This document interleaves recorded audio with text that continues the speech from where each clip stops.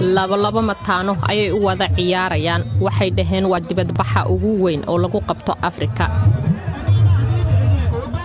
Bandhigga mataanaha ayaa mardhow lagu qabtay magaalada igabowa oo ka mid ah gobolka oya ee koonfur galbeed naijeeriya waxaana ka soo qayb galay in ka badan laba kun oo mataano ah saddex mataano afar mataano iyo ka badan. Qaarkood waxay aaminsan yihiin in ooya ay tahay caasimadda mataanaha ee adduunka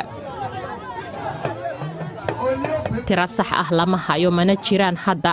Laakiin daraasad la sameeyey kii ilaa siddeetameeyadii koonfur galbeed ee naijeeriya waxaa la diiwaan galshay celcelis ahaan afartan iyo shan ilaa konton dhig oo mataano ah kunkii qofood ee dhashaba. Dadka ayaan wax badan la ciyaarnaa waan wareerinaa isku wax ayaan samaynaa waana isla ciyaarnaa. Qoyskaygu waa wada mataano hooyaday aabbahay iyo aniguba mataan ayaan ahay.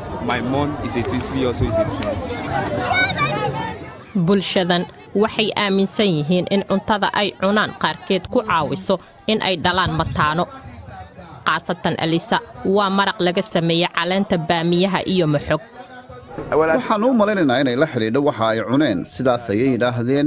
Waxay kor u qaaddaa uurqaadkooda waa cuntada ay caadiyan cunaan. Qayb ka mid ah cuntada joogtada ay u cunaan weeye.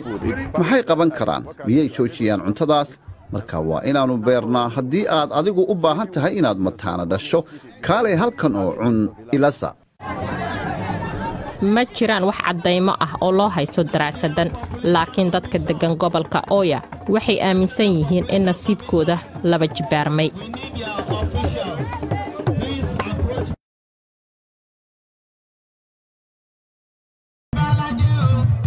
Labolabo mataano ayay u wada ciyaarayaan. Waxay dhaheen waa dibadbaxa ugu weyn oo lagu qabto afrika